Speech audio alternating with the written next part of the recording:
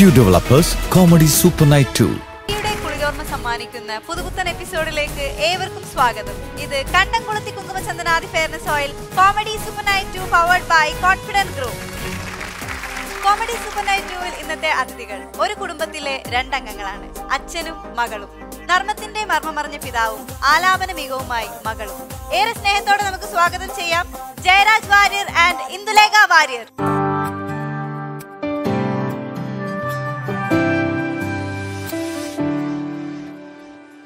കാന്താ ഞാനും വരാം. തൃശൂർ പൂരം കാണാൻ കണ്ട ഞാനും വരാം. തൃശൂർ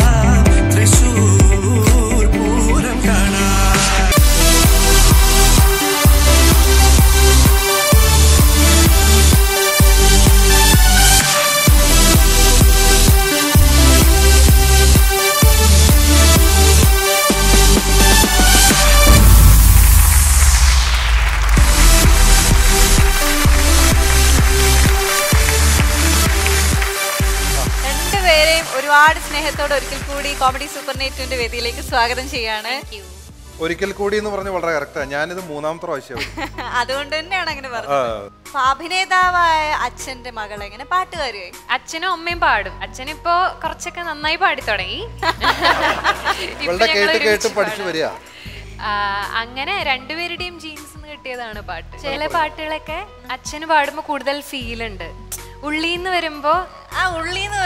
ഫീൽ വന്നിട്ട് പാടുന്ന പാട്ടുകൾ അതായത് എനിക്ക് ദേവരാജൻ മാസ്റ്റർ പാട്ടാണ് ഏറ്റവും ഇഷ്ടം. അത് അങ്ങനെ ഒരു പാട്ട് ഇപ്പോ ഞാൻ ഉദ്ദേശിക്കുന്നത് ഹിമവാഹിനി ഹൃദയഹാരിണി നിനക്കോ എന്റെ പ്രിയമുള്ളവൾക്കോ മാതക സൗന്ദര്യം. ഓ ഹിമവാഹിനി ഹൃദയ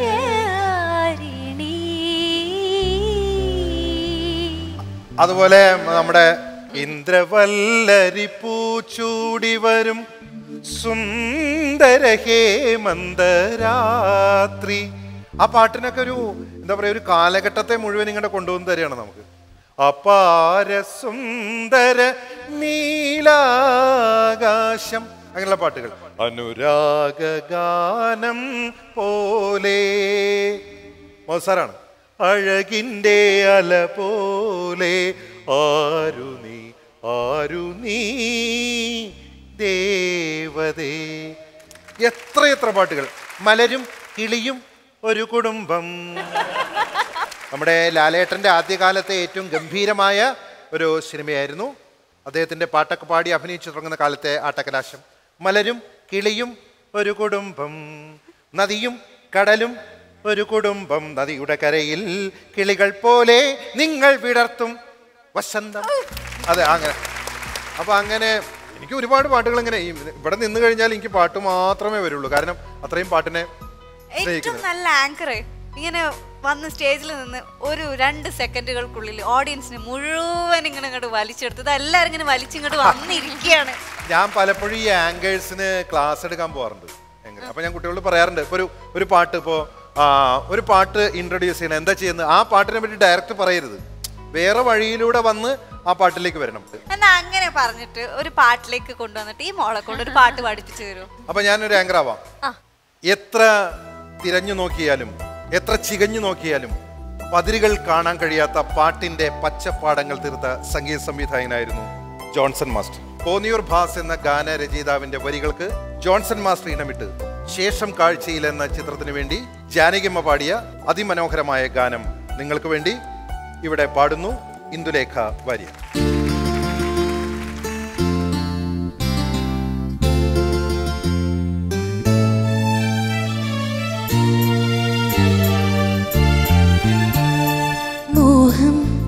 കൊണ്ടു ഞാൻ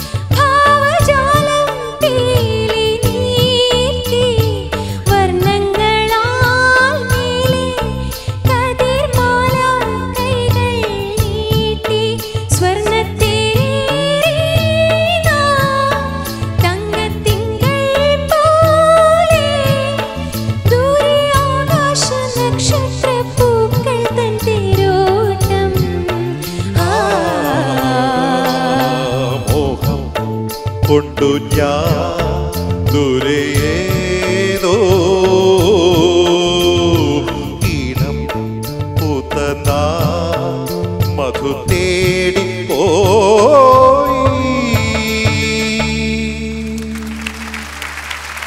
സംഗീത പാരമ്പര്യമുള്ള ഒരു ഫാമിലിയാണ്. അച്ഛന്റെ ആഗ്രഹമായിരുന്നോ അതോ മകളുടെ ആഗ്രഹമായിരുന്നോ? ഒരു പാട്ടുകാരി ആവണമെന്ന്. അമ്മയുടെയും അച്ഛന്റെ ആഗ്രഹമാണ് കൂടുതൽ ചെറുപ്പം മുതലേ എന്നെ പാട്ടുകാരിയാക്കണമെന്ന്. പിന്നെ കുറച്ച് വലുതായപ്പോഴാണ് എനിക്ക് പാടണം പാട്ടുകാരിയായിട്ട് അറിയപ്പെടണം എന്നൊരു ബോധമൊക്കെ വന്നത്. അപ്പൊ അങ്ങനെയാണ് സീരിയസ് ആയി പാടി തുടങ്ങിയത് അപ്പോൾ അത് കഴിഞ്ഞ് ഇങ്ങനെ പതുക്കെ പതുക്കെ പാടി electronic electronicals engineer electrical and electronics അത് കഴിഞ്ഞിട്ടാണ് ഞാൻ ഫിലിമിൽ പാടുന്നത്. അപ്പോത്തിക്കിരി. അപ്പോത്തിക്കിരിയിൽ ടൂ തൗസൻഡ് ഫോർട്ടീനിലാണ് അത് പാടിയത്. അപ്പോൾ അതായിരുന്നു ഫസ്റ്റ് ഡെബ്യൂ സിംഗിങ് ഇവളിങ്ങനെ പാട്ടൊക്കെ പാടാൻ തുടങ്ങിയിട്ട് ഇപ്പൊ ഞങ്ങൾ തൃശ്ശൂർ പൂരം തൃശ്ശൂർ പൂരത്തിന് നമ്മൾ വടക്കുന്നാഥന്റെ തെക്കേ ഗോപുരം നടയിലും പൂരം നടക്കുന്ന പ്രധാന വടക്കുന്നതിന്റെ പടിഞ്ഞാറ് നട ശ്രീമൂലസ്ഥാനത്തൊക്കെ ഇവളെയും കൊണ്ട് ഞാൻ പോവും. അപ്പോൾ ചാനലുകാരൊക്കെ വന്നിട്ട് ഇവളെ കൊണ്ട് പാടിക്കും. അങ്ങനെ ഇവളെയും കൊണ്ട് ഞാൻ ഒരു കൊല്ലം ഇങ്ങനെ പൂരത്തിന്റെ അവിടേക്ക് ചെന്നു. അപ്പോൾ ചാനലുകാർ വെച്ച് മോൾ പാടുമല്ലേ പാടുന്നു. അങ്ങനെ ഇവളിങ്ങനെ പാടി തുടങ്ങി. പാട്ട് കഴിഞ്ഞപ്പോൾ തൃശ്ശൂർ പറയാം "ഹേയ്, ജയരാജേട്ടൻ ഇപ്പം മോളല്ലേ ഇല്ലറക്കിയില്ലേ അതൊരു ഭയങ്കര കമന്റാ. അതായത് കമന്റ് എന്ന് പറഞ്ഞു കഴിഞ്ഞാൽ നമ്മളൊരു രംഗത്തുണ്ട്. ഹൈ മോളെ കൂടി ഇല്ല ഇല്ല ഇറങ്ങിയില്ലേ അഭിനയണ്ടാ ഞാൻ പറഞ്ഞു അഭിനയല്ല പാട്ടാണല്ലേ? ആ അത് ശരി.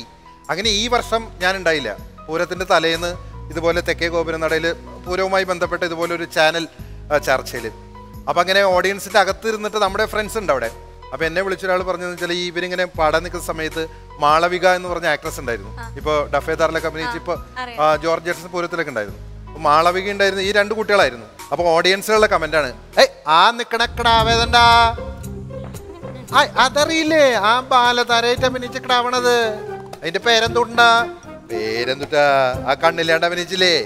ഓ മാളവിക അപ്പുറത്ത് നിൽക്കണതാ ഐ അത് നമ്മുടെ ജയരാജേട്ടന്റെ മോള. ഈ ജയരാജേട്ടന്റെ മോള.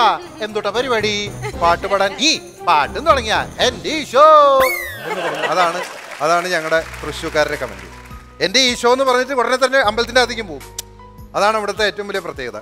അത് വടക്കനാട് ക്ഷേത്രത്തിലേക്ക് തൊഴാൻ പോകുമ്പോൾ ഇങ്ങനെ കുറച്ച് വീതി കൂടിയ പടിയാണ്. അപ്പം ഇങ്ങനെ ഈ മുണ്ടൊക്കെ പോച്ചുകൊണ്ട് ഇങ്ങനെ കാലെടുത്ത് വയ്ക്കുമ്പോൾ ഒരാളുടെ കാൽ തെറ്റി. കാൽ തെറ്റിയ ഉടനെ എന്റെ കർത്താവേ വടക്കുന്നാഥ എന്ന് എന്ന് പറയുന്ന ഒന്നാണ് ഞങ്ങളുടെ നാടിന്റെ തൃശ്ശൂക്കാരുടെ ഈ ഭാഷാ ശൈലി നല്ല രസാ കേൾക്കാൻ. തിരുവനന്തപുരം മുതൽ കാസർഗോഡ് വരെ. എല്ലാ ശൈലികളും അറിയാലോ. വ്യത്യസ്ത ശൈലികളിൽ പറയുന്നുണ്ട്. ഞങ്ങക്ക് കുറച്ച് എന്തൊരു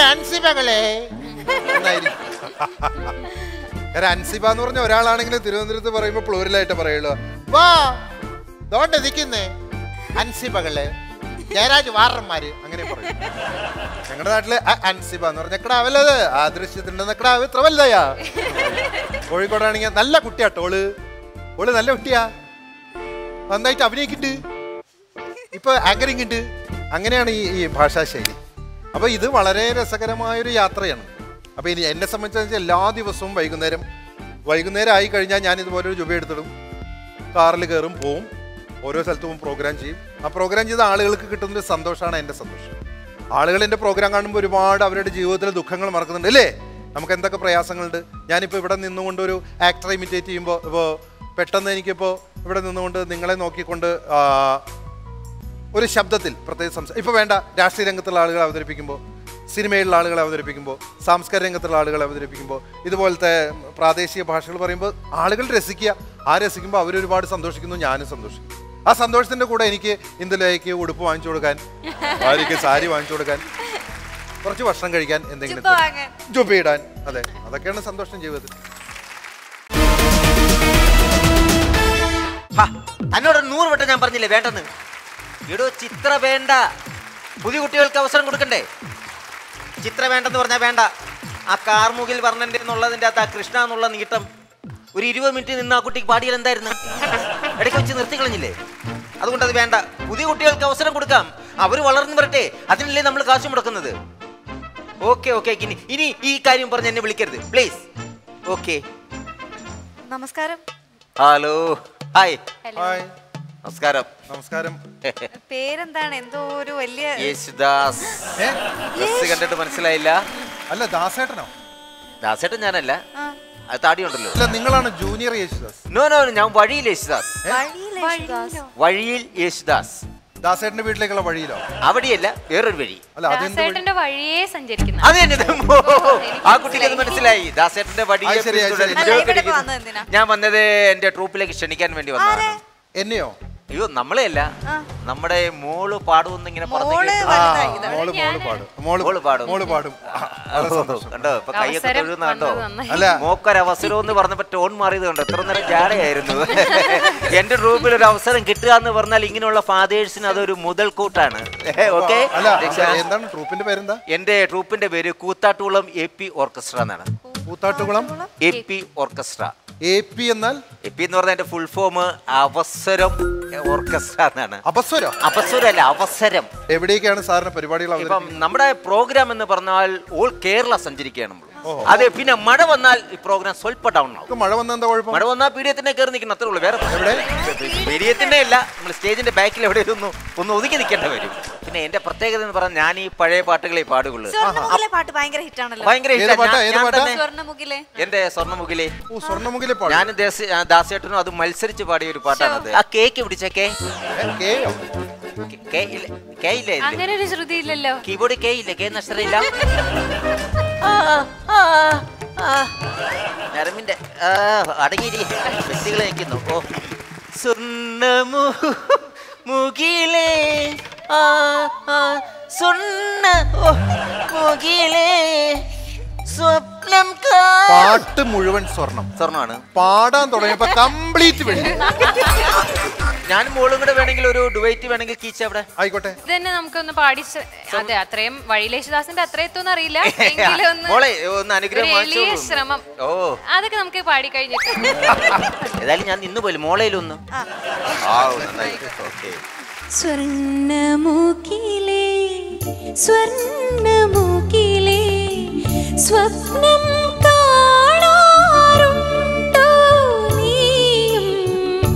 സ്വപ്നം കാണാറുണ്ടോ? കണ്ണു നീർക്കുടം തലയിലേന്തി വിണ്ണിൻ വീതി നടക്കുമ്പോ സ്വർണമുകിലേ സ്വർണമുകിലേ സ്വപ്നം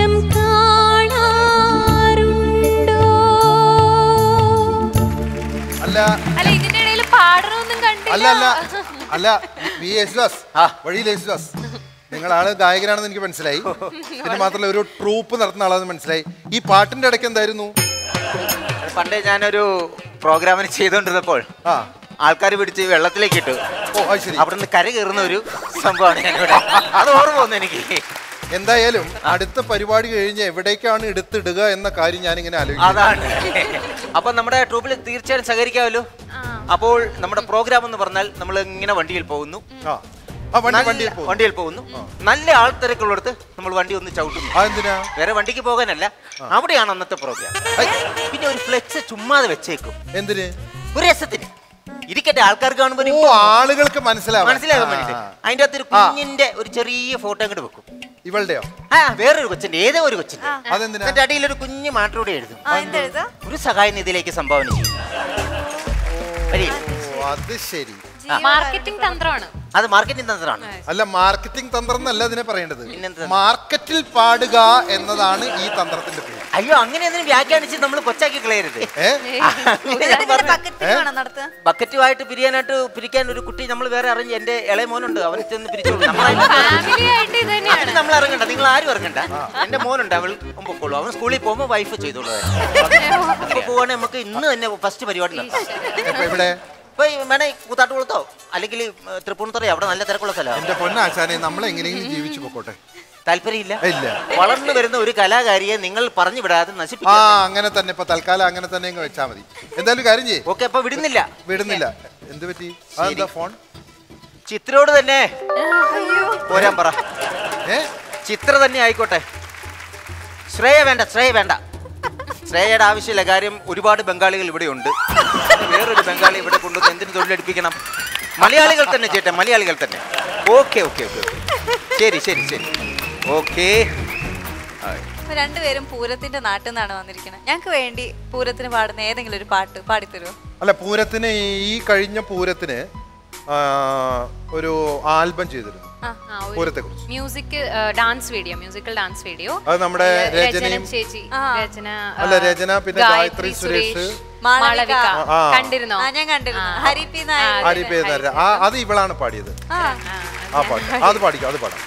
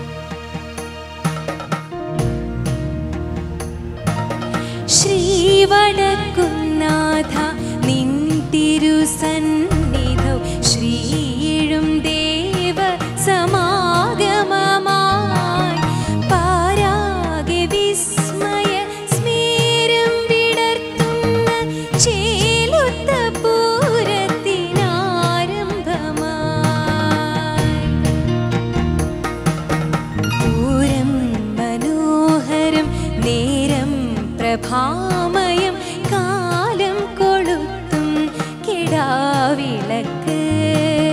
പൂരം മനോഹരം മേളം രസാവഹം കാലം മുഴക്കുന്ന കേളികൊട്ട്.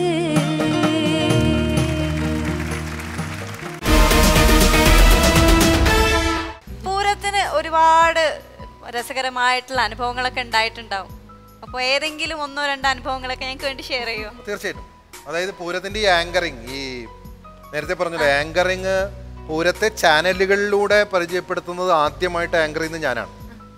തെക്കേ ഗോപുര നടയിൽ ഈ കുടമാറ്റം അതായത് പതിനഞ്ച് ആനകൾ ഇങ്ങനെ നിൽക്കുന്നു രണ്ട് ഭാഗത്ത് നടുക്ക് നിറയെ ആളുകൾ. അപ്പം ഞാനൊരു ഒരു വാനിന്റെ പുറത്ത് കയറി നിന്ന് ഇങ്ങനെ ആങ്കർ ചെയ്തുകൊണ്ടിരിക്കും ആങ്കർ ചെയ്യുമ്പോൾ എനിക്ക് എന്തോ അറിയാവുന്നതുകൊണ്ട് പൂരത്തിന്റെ പുരാവൃത്തങ്ങൾ അറിയാവുന്നതുകൊണ്ട് പൂരവുമായി ബന്ധപ്പെട്ട ഐതിഹ്യം അറിയാവുന്നതുകൊണ്ട് അതിന്റെ ചരിത്രം അറിയാവുന്നതുകൊണ്ട് പൂരം ഡിസൈൻ ചെയ്ത ശക്തൻ തമ്പുരാനെ കുറിച്ച് അറിയാവുന്നത് നിറങ്ങളെക്കുറിച്ച് അറിയാവുന്നത് കൊണ്ട് അങ്ങനെ ഇതിനെക്കുറിച്ചൊരു ചെറിയൊരു ഐഡിയ മനസ്സിലുള്ളതുകൊണ്ട് ഞാൻ ഇങ്ങനെ പറഞ്ഞുകൊണ്ടിരിക്കുക പറഞ്ഞുകൊണ്ടിരിക്കുമ്പോൾ എല്ലാ ജില്ലക്കാരും ഉണ്ട് താഴെ. കണ്ടറിയാം ഓരോരുത്തരെ പാലക്കാട്ടുകാരൻ ജയരാജേട്ടേ! ഓ ഏട്ടേ! നമ്മൾ കണ്ടു എന്നാണ് അന്ന് വന്നുല്ലോ നെമ്മാറ വേലയ്ക്ക് വന്നു കണ്ടു എന്ന്. ഓ പാലക്കാട്ടുകാര് കോഴിക്കോട്ടുകാര് ഏഹ് കണ്ണൂരുകാര് ജയരാജേട്ടാ നിങ്ങളുടെ പരിപാടി ഉണ്ടാ ആടാ. അതിനിടയ്ക്ക് തൃശ്ശൂക്കാരനായിട്ട് ഒരാൾ എന്നെ നോക്കിയിട്ട് കാണിച്ച് ഡാ ഇതിന്റെ തേങ്ങന്റെ മുകളിൽ ഇങ്ങനെ അന്നേരം അവിടെ നീ പറഞ്ഞേരെ അതിന്റെ മുകളിൽ പൊളിക്കാൻ തുടങ്ങിയിട്ട്? ഇങ്ങനെ ഒരു കമന്റ് സത്യം പറഞ്ഞാൽ ഞാൻ പേടിച്ചു പോയി ഞാൻ കുടമാറ്റം കഴിഞ്ഞ് ഇറങ്ങി വന്ന് അവനോട് ചോദിച്ചു അല്ല നീ എന്തിനാ എനിക്കിട്ട് ഇങ്ങനെ ഒരു പണി പണിതത്? എന്ന് വെച്ചാൽ ഓം പറയും ഞാൻ ജയരാജേട്ടന് ഇത്ര അധികം ആൾക്കാരെ ഫേസ് ചെയ്യുമ്പോൾ എത്ര കോൺഫിഡൻസ് ഉണ്ടെന്ന് ഉണ്ടെന്നറിയാം ഒരു നമ്പർ ഇട്ടാണ്. അത്. പലപ്പോഴും ഉണ്ടാവാറുണ്ട്. ഈ ഓരോത്തിന് മാത്രമല്ല ഇപ്പോൾ ഷൂട്ടിംഗ് സ്ഥലത്ത് നമ്മൾ ഷൂട്ട് ചെയ്തുകൊണ്ടിരിക്കുന്ന സമയത്ത് ചില ആളുകൾ ക്രൗഡിന്റെ ഉള്ളിൽ ഇങ്ങനെ നിന്നിട്ട് നമ്മളെ നോക്കിയിട്ട് നമ്മൾ മേക്കപ്പ് ഇട്ടിരിക്കുകയായിരിക്കും അല്ലെങ്കിൽ നമ്മൾ ആക്ഷനിലായിരിക്കും അല്ലെങ്കിൽ ചില സമയത്ത് ഇങ്ങനെ ഓഡിയൻസിനെ നോക്കുമ്പോൾ ഒരാൾ ഓഡിയൻസ് നമ്മളെ നോക്കിയിട്ട്. ജനക്കൂട്ടത്തിന്റെ ഉള്ളിൽ നിന്ന് പെട്ടെന്ന് ഒരു തല വന്ന് നമ്മളാക്കി ഇങ്ങനെയൊക്കെ ചില ചില ചില എക്സ്പ്രഷൻസ് അതിങ്ങനെ എല്ലായിടത്തും കിട്ടാറുണ്ട് അല്ല? തൃശ്ശൂരിന്റെ കാര്യം ഞാൻ പ്രത്യേകിച്ച് പറയാൻ കാരണം തൃശ്ശൂർ പൂരത്തിന് ഞാൻ അതിന്റെ മുകളിൽ നിൽക്കുമ്പോൾ എന്നോടുള്ള സ്നേഹം കൊണ്ടാണ് തൃശ്ശൂർക്കാരായിട്ടുള്ള ആൾക്കാർ ഞാൻ ചേട്ടൻ? ഇറങ്ങിപ്പോയേരെ എന്ന് പറയുന്നത്. ഒരിക്കൽ ഞാൻ ഇങ്ങനെ പൂരം ആങ്കർ ചെയ്തുകൊണ്ടിരിക്കുമ്പോൾ അതിനിടയിൽ ഇലഞ്ഞിത്ര മേളം തുടങ്ങി. ഇലഞ്ഞിത്ര മേളം തുടങ്ങി അതിങ്ങനെ ആസ്വദിച്ചുകൊണ്ടിരിക്കുക.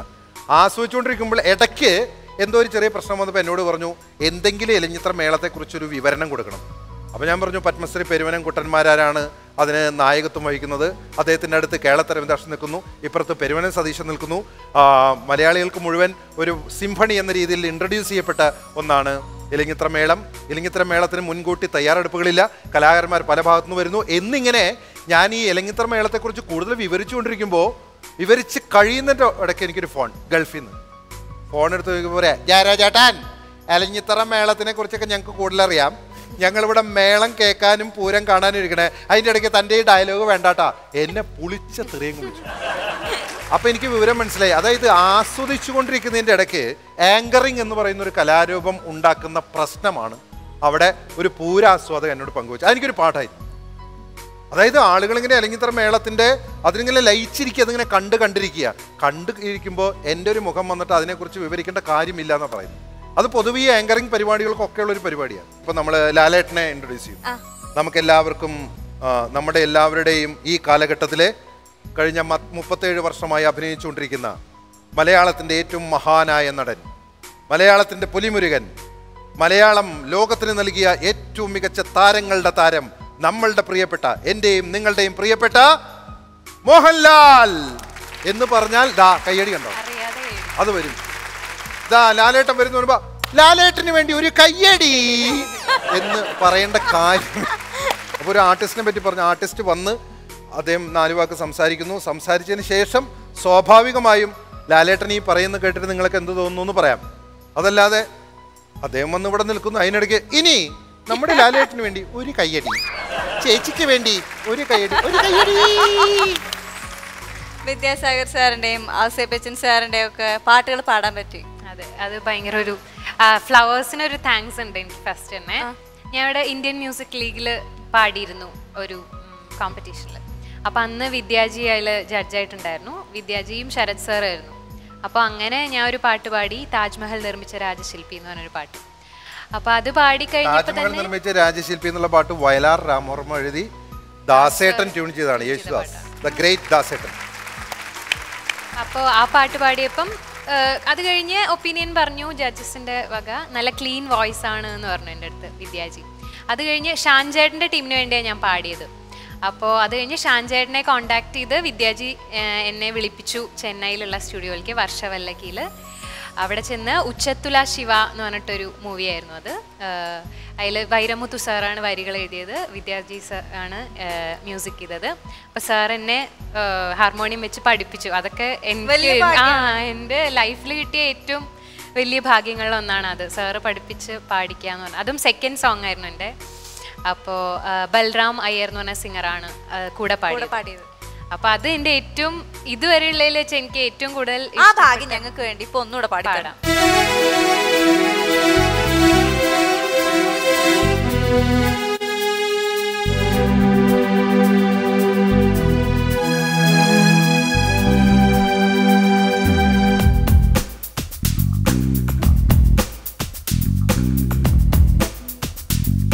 பேசு பேசு இசை மொழி பேசு பேசு பேசு. நெஞ்சினில் காதல் வாசம் வீசு காமன் மகனே.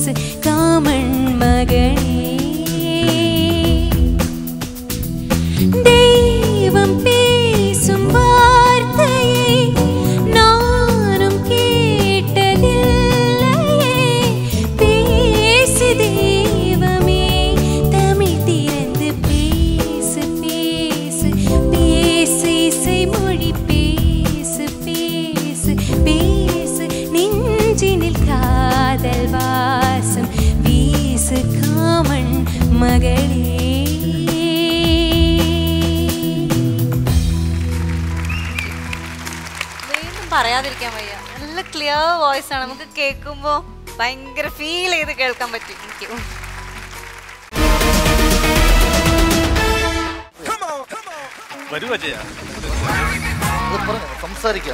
ഹലോ ഹായ് നമസ്കാരം. നമസ്കാരം നമസ്കാരം. ഹായ്. ഹായ് ഞങ്ങൾ ഗൾഫിൽ നിന്ന് വരികയാണേ. ഓ അത് ശരി. നിങ്ങൾ ഒന്ന് കാണാൻ വേണ്ടി വന്നതാണ്. ഗൾഫിൽ എവിടെയാണ്? അവിടെ ഗുദാം മലയാളി അസോസിയേഷന്റെ സെക്രട്ടറി പ്രസിഡന്റ്. അതെ അതെ. അതെ ഗുദാം എന്ന് പറഞ്ഞാൽ സദാം. ഗുദാം ഉണ്ട് അതെവിടെയാണ്? ഗുദാം ഈ ജംഗ്ഷനിൽ നിന്ന് കുറേ ഉള്ളിലേക്ക് പോകണം ഒരുപാട് കുറച്ച് ഉള്ളിലാ. അതെ അതെ എട്ടര കഴിഞ്ഞാൽ പിന്നെ എട്ടരയുടെ ഒട്ടകം പോയി കഴിഞ്ഞാൽ പിന്നെ അങ്ങോട്ട് പോകാൻ അവിടെ ബസ്സില്ല. ഞാൻ മിക്കവാറും എല്ലാ ഗൾഫ് നാടുകളിലും പോയിട്ടുള്ള ആളാണ് അപ്പൊ ആദ്യമായിട്ടാണ് ഗുദാം എന്നൊരു സ്ഥലത്ത് ഒരു പരിപാടി. അപ്പൊ അതൊരു ഭാഗ്യമായി കരുതി ഗുദാമിന്റെ ഒരു പരിപാടി. എപ്പോഴാണ് പരിപാടി? നാൽപ്പത് പേരടങ്ങുന്ന ഒരു സംഘമാണിത്. നിങ്ങളോ? ഞങ്ങളുടെ കുടുംബം. അവരുടെ ഒരു സംഘടന ഓണത്തിന് ഒരു പ്രോഗ്രാം. അതായത് ജയരാജ് ഭാര്യയുടെ കാരിക്കേച്ചർ ഷോയും മകളുടെ ഗാനമാണ് ഗാനം. Oh very good very good അങ്ങനെ ഒരു സംഭവം ഞങ്ങൾ വളരെ സന്തോഷം വളരെ സന്തോഷം. നിങ്ങൾക്ക് ഒന്നിനും ഒരു കുറവുണ്ടാവില്ല. നിങ്ങൾ അവിടെ വന്ന് കിട്ടിയാൽ മതി. ആ അല്ല നമ്മൾ ഹോട്ടൽ സൗകര്യങ്ങളൊക്കെ ഹോട്ടൽ സൗകര്യമുണ്ട്? പിന്നെ പിന്നെ അക്കോമഡേഷൻ ഉണ്ട്. നല്ല അക്കോമഡേഷൻ നല്ല അക്കോമഡേഷൻ ആണ്. സ്റ്റാർ ഹോട്ടലാണ്. ആ സ്റ്റാർ ഹോട്ടലാണ്. അല്ല സ്റ്റാർ ഹോട്ടലാണ് വേണം. കാരണം ഒന്ന് ഓൺലൈനിൽ നോക്കണേ സ്റ്റാർ ഹോട്ടൽ. അതെ. അതെ മലന്ന് കിടന്ന് മുകളിലോട്ട് പോയി ആവശ്യം പോലെ സ്റ്റാർ കാണാം. അത് ഈ മലന്ന് കിടന്ന് നോക്കിക്കഴിഞ്ഞാൽ റൂമിലൊക്കെ നക്ഷത്രമാണ്. ഈ ക്രിസ്മസിന് ഇടുന്ന നക്ഷത്രം ഇല്ലേ? അതൊക്കെ അവിടെ ഉണ്ടെന്നാണ് പറഞ്ഞത്. എന്നെ സംബന്ധിച്ച് ഭക്ഷണ കാര്യങ്ങളൊക്കെ വളരെ പ്രത്യേകതയുള്ള ആളാണ്. എന്തായിരിക്കും നമ്മുടെ ഒരു ബ്രേക്ക്ഫാസ്റ്റ് ബ്രേക്ക്ഫാസ്റ്റ് നല്ല എന്താണ് നമ്മൾ നല്ല രീതിയിൽ ഡീൽ ചെയ്യും പിന്നെ? കലാകാരന്മാർ നിങ്ങൾക്ക് അത്രയ്ക്ക് ഇഷ്ടമാണ്. അല്ല ഈ രാവിലത്തെ ഭക്ഷണമാണല്ലോ നമ്മുടെ ആരോഗ്യത്തിന്റെ ഒരു. ആയിക്കോട്ടെ ആയിക്കോട്ടെ. രാവിലെ കുബൂസ് തൈര് പച്ചമുളക്. കുബൂസ് തൈര് പച്ചമുളക്. അങ്ങനെ?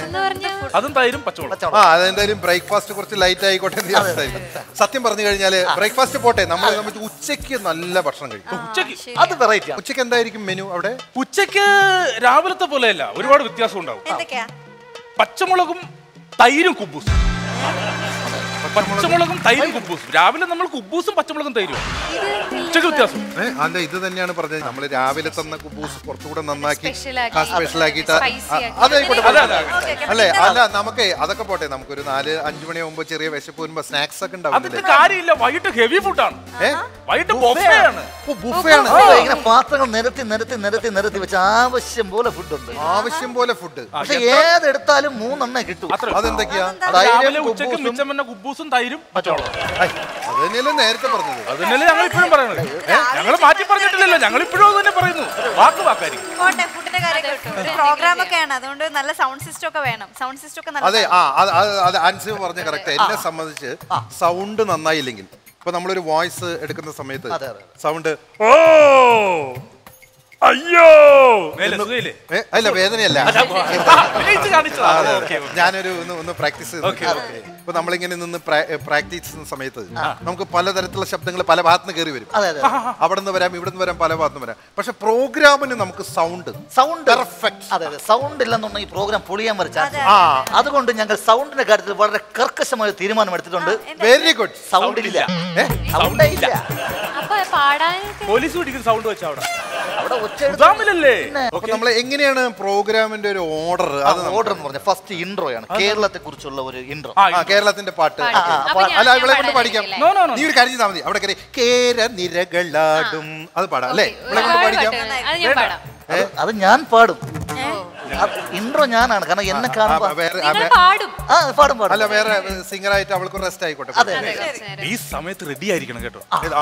രണ്ടുപേരും റെഡി ആയിരിക്കണം. ഓക്കെ ഈ ഇൻട്രോ കഴിഞ്ഞ ഉടനെ അടുത്ത ഒരു ഐറ്റം ഉണ്ട്. അടുത്ത ഐറ്റം രണ്ട് പോലീസുകാരുടെ ഒരു സ്കിറ്റാണ് ആ അടുത്ത ഐറ്റം അതിന്റെ ഇൻട്രോ ഞാൻ പറയാം വേണ്ട. വേണ്ട ഇൻട്രോ പറയരുത്. ഞാനൊരു അവതാരകനായി. അല്ല അല്ല. അത് ശരിയാവില്ല. അതെന്താ? ഞങ്ങൾ പറയും. എന്നിട്ട് ഞങ്ങൾ തന്നെ കളിക്കും. ചിലപ്പോ കൈ നിന്നില്ലെങ്കിൽ അവസാനം പക്ഷെ ആ സമയത്ത് റെഡി ആയിരുന്നു? ഈ സമയത്ത് റെഡി ആയിരിക്കണം അവിടെ. അത് കഴിഞ്ഞ് നമുക്ക് ഈ പോലീസിന്റെ ഡ്രസ് ഊരിമാരൻ ഒരു ഗ്യാപ്പ് ഇല്ലേ? ആ, ഗ്യാപ്പിൽ. വേണ്ട വേണ്ട. അത് ഞങ്ങൾ എങ്ങനെയെങ്കിലും ഒന്ന് മൂന്നാമത്തെ പരിപാടി അത് ഞങ്ങൾ കളിച്ചിരിക്കും. അതെ. പിന്നെ എന്റെ മോളുടെ ഒരു പാട്ടുണ്ട്. ആരെ? എന്റെ മോളുടെ ഒരു പാട്ടുണ്ട്. അപ്പൊ നിങ്ങളുടെ മോളുടെ പാട്ട് കുട്ടിയല്ലേ? ആ. അപ്പൊ അതിനു മുമ്പ് ഇവളുടെ ഒരു പാട്ട് വെച്ചിട്ട് ഞാനൊന്ന് പാടി തുടങ്ങി വെച്ച്. എല്ലാ ദിവസവും ഇത് തന്നെയല്ലേ പരിപാടി? ഇനി അവിടെ കിടന്ന് പാടണോ? അത് പാടുപെടില്ല അതിന്റെ കാര്യമുണ്ടോ? അല്ല മോളെ അല്ല അധികം സ്ട്രെയിൻ ചെയ്യാതെ അവർക്ക് നല്ല സ്നേഹമാണ് നമ്മൾ അല്ലല്ല വളരെ ഒന്നോ രണ്ടോ പാട്ടുകളൊക്കെ പാടിയാൽ മതി സ്നേഹം കൊണ്ടാണ് ഈ റെഡി സമയത്ത് റെഡി ആയിരിക്കണം അത് കഴിഞ്ഞ് നിങ്ങളുടെ ഈ സ്കിറ്റ് കഴിഞ്ഞ് വീണ്ടും നിങ്ങളുടെ മോളുടെ പാട്ട് കഴിഞ്ഞ് ഒരു സ്കിറ്റ് ഒരു സ്കിറ്റ് അത് ഇൻട്രോ ഞാൻ പറഞ്ഞു ആ ഇൻട്രോ അത് ഈ പുള്ളി ഞാൻ പറഞ്ഞു പറയും. അപ്പൊ നിങ്ങൾക്കപ്പൊ ഞാൻ എന്തിനാ അവിടെ വരുന്നത്? അവിടെ റെഡി ആയിരുന്നു ചേട്ടാ പ്രോഗ്രാം അല്ലേ നടക്കുന്നത്? അല്ല ഞങ്ങളുടെ എന്റെ ഗാനമേള എന്നൊക്കെ പറയുമ്പോ രണ്ട് മൂന്ന് പാട്ട് മിനിമം. പാടാം അതായത് ഏതെങ്കിലും ഒരു അവസരത്തിൽ ഞങ്ങൾക്ക് ഡ്രസ്സ് മാറി കേറാൻ പറ്റിയില്ലെങ്കിൽ നമ്മൾ ബാക്ക് ചെയ്യുന്നു. ഇങ്ങനെ സംഭവിക്കും സംഭവം അടിക്കും. ചാടി കയറിക്കോണം പോകണം പാട്ട് പാടിക്കും? അത്ര. ശ്രദ്ധിച്ചിരിക്കണം. ആ അപ്പൊ ചാടി കയറിക്കോണം റെഡി ആയിരുന്നു അപ്പൊ ഞാനിത് അവിടെ വന്ന് സ്റ്റേജിന്റെ പുറകിൽ ഇരിക്കുമ്പോ തന്നെ അതായത് എന്ന് വെച്ചാൽ വന്നു അതായത് അമിട്ട് കത്തിച്ചിട്ട് നമ്മൾ നോക്കൂല. അതുപോലെ നിൽക്കണം നമ്മൾ ഇങ്ങനെ പറയും ചാടി കയറിക്കോണം ഓ നിങ്ങൾ എന്തൊക്കെ ചെയ്യുന്നത് ഞാൻ ഒച്ച എടുക്കും. ഒച്ച എടുക്കും. നിങ്ങൾ ഒച്ച ഇയാൾ? Figure figure. ഫിഗർ അല്ല ഒരു എന്നാ ഒരു ഒച്ച കേക്കട്ടെ ഏതെങ്കിലും സൗണ്ട് ഇല്ല അതിന്റെ ഒരു ചെറിയ ഒരു അല്ല അത് കുഴപ്പമില്ല. ഞങ്ങൾക്ക് ഇവിടെ ഇത്ര പേർക്ക് കേൾക്കാൻ മതിയല്ലോ. ഓക്കെ ഞാൻ ലാലു അലസ് ലാലു അലസ്. ലാലു അലസ്. പേഴ്സണലായിട്ട് ഇത് കുറെ കാലമായിട്ട് കേട്ടാ. പുതിയ എത്ര കാലമായി ഇത് ഞാൻ വെറൈറ്റി ആയിട്ടുള്ള മൂന്ന് നടന്മാർ ശബ്ദം അനുകരിക്കും. അതായത് വെറൈറ്റിയാണ് വെറൈറ്റി ആണ്. കോമഡി ഉത്സവത്തിൽ പോലും ഒരു പയ്യന്മാരും ചെയ്യാത്ത ഇതുവരെ ആരും- ഇതുവരെ ആരും അനുകരിക്കാത്ത മൂന്ന് നടന്മാരെ ശബ്ദം. അത് കൊള്ളാം. ഒന്ന് മധു ജനാർദ്ദനൻ എന്നമ്പിള്ള ഛേ, ഇത് നാൽപ്പത് കൊല്ലമായിട്ട് നമ്മൾ സ്ഥിരമായിട്ട് കാണുന്ന ഒരു പരിപാടിയാണ്. പക്ഷെ ഞങ്ങളിത് ആദ്യമായിട്ടാണ്. അപ്പൊ ഞങ്ങൾക്ക് ഇതൊരു വിഷയമല്ല ഏതായാലും ഓക്കെ അല്ലേ? സംഭവം സംഭവം ഞാൻ ഓക്കെയാണ്. ഇപ്പൊ നിങ്ങൾ പറഞ്ഞു കേട്ടിടത്തോളം ഗുദാം നമുക്കൊരു പുതിയ സ്ഥലം. അതെ. അവിടെയാണെങ്കിൽ നമുക്ക് അധികം പെർഫോം ചെയ്യണ്ട. അതെ. ഒട്ടകപ്പുറത്ത് പോവാം. അതെ. പിന്നെ നമ്മളിങ്ങനെ മലർന്നു കിടന്നാൽ ഫുൾ സ്റ്റാർ കാണാം. ബുഫയിൽ ഇഷ്ടം പോലെ ഭക്ഷണത്തിന് പകരം മൂന്ന് ഭക്ഷണങ്ങൾ. പിന്നെ മലന്ന് കിടക്കുമ്പോൾ സൂക്ഷിക്കണം വാ അടച്ചു കിടക്കണം. ചിലപ്പോൾ കാറ്റടിച്ച് മണൽ വായിക്കാത്ത ഓ അങ്ങനെയാണ്. അപ്പൊ ഒരു കാര്യം ചെയ്യാം നമുക്ക് മറ്റു കാര്യങ്ങൾ പറഞ്ഞു ഉറപ്പിക്കാം. Okay, okay. Okay okay. അപ്പൊ ഡീൽ.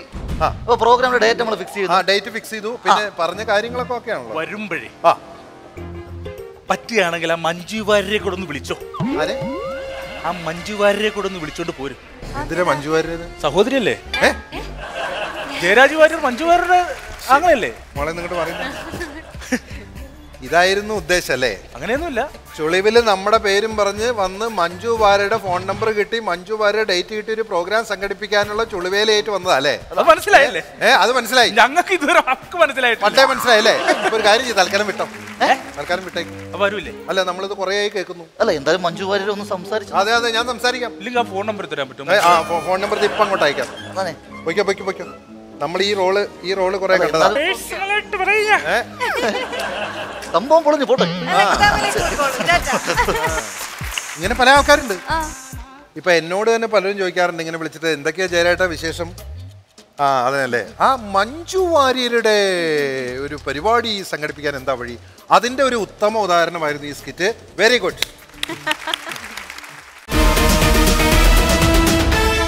രാഷ്ട്രീയക്കാരുടെ സിനിമാക്കാരുടെ ഒക്കെ ഭാവങ്ങൾ അനുകരിച്ച് കാണിക്കാറുണ്ട് ഞങ്ങൾക്ക് വേണ്ടി ഏതെങ്കിലും രാഷ്ട്രീയക്കാരുടെ ഭാവങ്ങളൊക്കെ അനുകരിച്ച് കാണിച്ചു തരുമോ? ഏറ്റവും കൂടുതൽ ഈ ഇത്തരത്തിലുള്ള ഹാസ്യ പരിപാടി ആസ്വദിക്കുന്നവർ അവരാണ് ഇപ്പോ ഇറങ്ങിയിരിക്കുന്ന എനിക്കിഷ്ടപ്പെട്ട ഒരു സിനിമയുടെ പേര് അച്ചായൻസ്. തിരക്കിട്ടില്ല. അതായത് എന്റെ കൂടെ കേക്ക. എന്റെ കൂടെ രാഷ്ട്രീയത്തിൽ നിന്നിട്ടുള്ള ഒരുപാട് ആളുകളുണ്ട്. ആ ആളുകളുടെ എല്ലാവർക്കും വേണ്ടിയാണ് ആ ഒരു സിനിമ ഇറങ്ങിയത്. പക്ഷേ അതിനകത്ത് ഒരു അച്ചായനെ നമ്മൾ കൂട്ടുന്നില്ല. അത് മാണി എന്ന് പറയുന്ന അച്ചായൻ അതിനകത്ത് കാണത്തില്ല. ബാക്കിയുള്ള എല്ലാ അച്ചായന്മാരുടെയും പേര് ഒരു സിനിമ ഞാൻ എന്റെ ഞാൻ പ്രതിപക്ഷത്തിരിക്കുന്ന സമയത്ത് ഇറങ്ങിയതിൽ വലിയ സന്തോഷം. ഒരു ഒരു പൊട്ടി പിന്നെ രാഷ്ട്രീയ രംഗത്തിൽ എനിക്ക് ഇഷ്ടപ്പെട്ടപ്പോൾ കേരളത്തിലെ ഏറ്റവും അധികം ആൾക്കാർ ഇപ്പോൾ ആസ്വദിക്കുന്നത് നമ്മുടെ എന്നെ അങ്ങനെ ഒറ്റപ്പെടുത്താൻ ഒരുപാട് പെണ്ണ് എന്റെ അടുത്ത് എന്ന് പറയുന്ന നമ്മുടെ ബഹുമാനപ്പെട്ട വൈദ്യുതി മന്ത്രി. അങ്ങനെ രാഷ്ട്രീയ രംഗത്ത് ഒരുപാട് പേരുണ്ട്. ഇപ്പോഴും നമ്മളോട് ഏറ്റവും കൂടുതൽ റിക്വസ്റ്റ് വരുന്നത് എ കെ ആന്റണി സാറിനെ അവതരിപ്പിക്കാനാണ്. യഥാർത്ഥത്തിൽ കോമഡി സൂപ്പർ നൈറ്റ്. എന്ന ഈ പരിപാടിയിൽ പങ്കെടുക്കാൻ കഴിഞ്ഞ വലിയ സന്തോഷം എന്നെ സംബന്ധിച്ചിടത്തോളം ഏറ്റവും ഇഷ്ടപ്പെട്ട് ഏറ്റവും കൂടുതൽ കഷ്ടപ്പെട്ട് സമയം ഉണ്ടാക്കി ഞാൻ കാണുന്ന പരിപാടിയാണ് ഈ. പരിപാടിക്ക് എന്റെ ഹൃദയം നിറഞ്ഞ അശ്മ അശ്മ അശ്മ അശ്മ അപ്പോൾ സ്കൂളിലും കോളേജിലും ഒക്കെ പഠിക്കുന്ന സമയത്തെ ഈ കലാപ്രവർത്തനങ്ങളൊക്കെ ഉണ്ടോ? ആ ഞാനിപ്പോഴും പഠിച്ചുകൊണ്ടിരിക്കുകയാണ് എം ബി എക്ക് ക്യുസാറ്റിൽ അപ്പൊ യൂത്ത് ഫെസ്റ്റിവൽസിനൊക്കെ പോയിരുന്നു. കാലിക്കറ്റ് യൂണിവേഴ്സിറ്റി പഠിക്കുമ്പോഴും പോയിരുന്നു ഇന്റർ സോണിലൊക്കെ. അത് ഞാൻ വേറൊരു ചോദ്യം ചോദിക്കട്ടെ? ഇന്ദുലേഖ എന്ന് പേരിട്ടത്. കണ്ടപ്പോ ജനിച്ചപ്പോഴേ നല്ല സുന്ദരി ആയിരിക്കും നല്ല ബുദ്ധിയും ഉള്ള കുട്ടിയായിരിക്കും എന്ന് കരുതിയിട്ട് തന്നെയാണോ ഇന്ദുലേഖ? അല്ല ഇന്ദുലേഖ എന്ന് പേരിടാൻ കാരണം ഈ ഇവിടെ കാരിങ് സമയത്താണ് ഞാൻ ഇന്ദുലേഖ എന്ന് പറഞ്ഞൊരു ഏഷ്യാനെറ്റിന്റെ തുടക്കമാണ് മലയാള നോവൽ സാഹിത്യവുമായിട്ട് ബന്ധപ്പെട്ട് കെ പി കുമാരൻ സാറ് സംവിധാനം ചെയ്യുന്ന ഒരു പരമ്പരയായിരുന്നു. അപ്പോൾ ഞാൻ അങ്ങനെ പേരുകൾ ഇങ്ങനെ അന്വേഷിച്ചുകൊണ്ടിരിക്കുമ്പോഴാണ് ഈ ഒരു പേര് പെട്ടെന്ന് സ്ട്രൈക്ക് ചെയ്തത്. അപ്പോൾ ആ അതിലൊരു ക്യാരക്ടർ മാധവൻ എന്ന് പറഞ്ഞ ക്യാരക്ടർ ചെയ്യാൻ വേണ്ടിയിട്ട് ഞാൻ ഇന്ദുലേഖ ഇരുന്ന് വായിക്കുകയായിരുന്നു. ഞാൻ വൈഫിനോട് പറഞ്ഞു പെൺകുട്ടിയാണെങ്കിൽ നമുക്ക് ഇന്ദുലേഖ എന്ന് പേര്. എന്തായാലും നല്ല പേരാണ്. ആ പേര് എന്തായാലും ആപ്റ്റാണ് ഓ താങ്ക് യു അപ്പോ കലാപ്രവർത്തനങ്ങളൊക്കെ ചെറുപ്പത്തിലേ ഉണ്ടായിരുന്നു. ഇവിടെ വന്നിട്ട് ഞങ്ങൾക്ക് വേണ്ടി കുറെ കലാപ്രവർത്തനങ്ങളൊക്കെ രണ്ടുപേരും കാണിച്ചു തന്നു. ഞങ്ങളുടെ ഈ പ്രോഗ്രാമിന് വന്നതിൽ ഞങ്ങൾ നൽകുന്ന സമ്മാനമാണ്. പറക്കാട് ജോസ് നൽകുന്ന തങ്കത്തിൽ പൊതിഞ്ഞ ആന. താങ്ക് യു തങ്കത്തിൽ പൊതിഞ്ഞ ആന എന്ന് പറയുമ്പോ ഒരു ഒരു പാട്ട് പാടാനാ തോന്നുന്നു. ആ ഏത് പാട്ടാ? ഞാൻ തന്നെ എഴുതിയ പാട്ടാ എഴുതിയ പാട്ട്. ഇങ്ങനെ ഒരു ആന എന്റെ വീട്ടിലുണ്ട് ഓൾറെഡി അപ്പോൾ ഞാനിങ്ങനെ പൂരത്തിന് ഇങ്ങനെ ഓർത്ത് ഇങ്ങനെ ഇരിക്കുമ്പോൾ ഈ ആന കണ്ടപ്പോൾ ഞാൻ വെറുതെ ഇങ്ങനെ മൂളിയതാ. കരിപ്പുറമേ പൊന്നിട്ട്. കരി എന്നൊരു പര്യായം ഉണ്ട് എനിക്ക് കരിപ്പുറമേ പൊന്നിട്ട്. വെള്ളി വെട്ടത്ത് മുറം വീശി. ജിഞ്ചില്ലന്താളത്തിൽ കുണുങ്ങി കുണുങ്ങി വരണ് വരണ് പൂരം പൂരം. മടപൂരം തൃശ്ശൂര് പൂരം ജില്ലംബാട പടപൂരം ജില്ലംബാട പടപൂരം ജില്ലംബാട പട ജില്ലംബാട പട ജില്ലംബാട പട പൂരം കരിപ്പുറമേ പൊന്നിട്ട് വെള്ളിവട്ടത്തിൽ മുറം വീശി. ജില്ലന്താളത്തിൽ കുണുങ്ങി കുണുങ്ങി വരണ് വരണ് വരണ് വരണ്. പൂരം. മടപൂരം. തൃശ്ശൂരുപൂരം. ചില്ലമ്പാട പടപൂരം ചില്ലമ്പാട പടപൂരം ചില്ലമ്പാട പട ചില്ലമ്പാട പട ചില്ലമ്പാട പട പൂരം താങ്ക് യു എന്തായാലും ഇന്നത്തെ എപ്പിസോഡ് നിങ്ങൾക്ക് എല്ലാവർക്കും ഒത്തിരി ഒത്തിരി ഇഷ്ടപ്പെട്ടു എന്ന് മനസ്സിലായി ആരും എഴുന്നേറ്റ് പോകണ്ട ഇന്ദുലേഖയുടെ നല്ല കീട്ടിലൊരു പാട്ട് വരുന്നുണ്ട് കണ്ടുകൊണ്ടേയിരിക്കുക ഇത് Kandamkulathy Kumkumachandanadi fairness oil comedy super night two powered by confident group